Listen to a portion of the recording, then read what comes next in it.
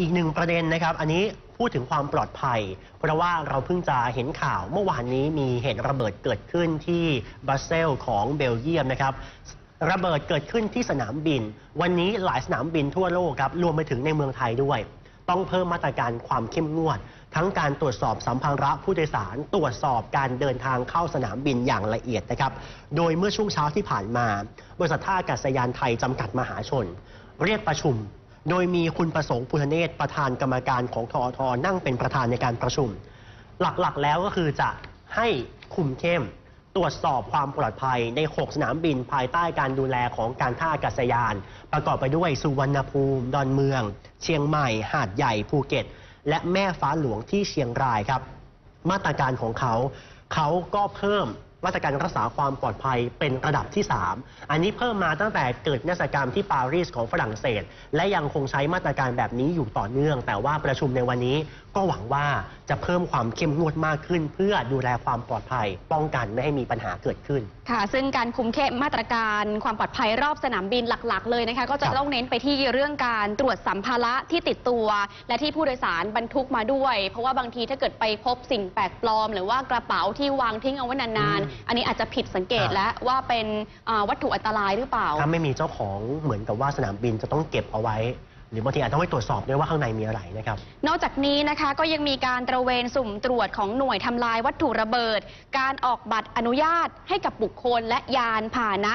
ไม่ให้มีการมาจอดรถหน้าชานชาลาทุกประเภทแล้วในขณะนี้ค่ะ คือปกติแล้วเวลามีการมาส่งญาติที่บริเวณด้านหน้าชานชาลาเขาก็จะจอดรถเอาไว้ตรงนั้น อาจจะชั่วคราว แต่ว่าขณะนี้อาจจะให้ยกเลิกออกไปก่อนครับแล้วก็จะเฝ้าระวังกล้องวงจรปิดนะคะ มีการใช้กล้องวงจรปิดติดตาม CCTV ตลอดเวลา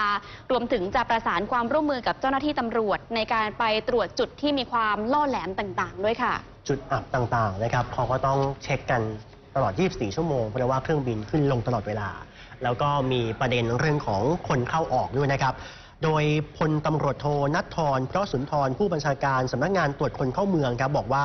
ทางสตมได้มีวิทยุด่วนกำชับการปฏิบัติหน้าที่ของตำรวจตรวจคนเข้าเมืองทั่วประเทศครับ โดยเฉพาะที่สนามบินต่างๆ ให้เพิ่มความเข้มงวด ในการตรวจคัดกรองบุคคลที่จะเดินทางเข้าประเทศ ดูเอกสาร ดูบันทึกข้อมูลต่างๆ และดูท่าทีพฤติกรรม ว่าส่อพิรุธไหม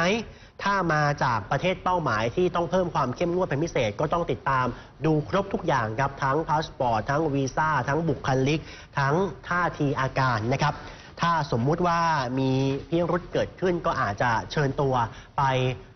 สอบถามข้อมูลเพิ่มเติมนะครับ นี่เป็นการเพิ่มความเข้มงวดหลังจากเกิดเหตุการณ์ที่บรัสเซลของเบลเยียม แต่จริงๆแล้วในบ้านเราสนามบินทุกที่ก็เพิ่มความเข้มงวดเรื่อยๆ หลังจากเกิดเหตุการณ์ที่ราชประสงค์ แล้วก็มาเกิดเหตุการณ์อีกครั้งหนึ่งที่ปารีสของฝรั่งเศส ตอนนี้ก็เพิ่มเต็มที่เลยฮะ โดยเฉพาะสุนัข K-nine ต้อง ใช้ด้วย เพราะว่าจะสามารถดมได้ว่าเอ๊ะมีวัตถุต้องสงสัยอยู่ในกระเป๋าหรือเปล่า เพราะบางทีจะไปขอค่ะ เปิดกระเป๋าผู้โดยสาร ก็บางทีอาจจะไม่สะดวกเท่าไหร่ อืมและที่สำคัญเวลามีชาวต่างชาติ หน้าตาแปลกๆมาก็ต้องจับสังเกตกันให้ดีอย่าง เพราะว่าเหตุที่บรัสเซลส์เนี่ยมีรายงานด้วยว่ามีการนำระเบิดไปซุกไว้ที่เคาน์เตอร์เช็คอิน ของสายการบินอเมริกันแอร์ไลน์อะ ก็ยังเป็นพนักงานกันอยู่ล่าสุดเห็นบอกว่ามีกล้องวงจรปิดนะครับที่จับภาพผู้ต้องสงสัยได้ เดี๋ยวจะมีการตรวจสอบตรวจสอบนะครับแล้วก็ติดตามเรื่องนี้กันอย่างต่อเนื่องในนาว 26 นะครับ